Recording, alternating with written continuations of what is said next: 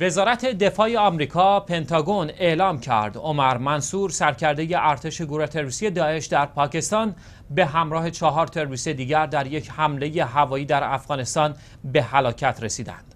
به گزارش خبرگزاری رویترز پیتر کوک سخنگوی پنتاگون در این باره گفت عمر منصور مغز متفکر عملیات های تروریستی پاکستان به ویژه حمله ژانویه گذشته به دانشگاه پاشاخان و حمله دسامبر 2014 به یک مدرسه نظامی در پیشاور بود که منجر به جان باختن پیش از 130 تن شد.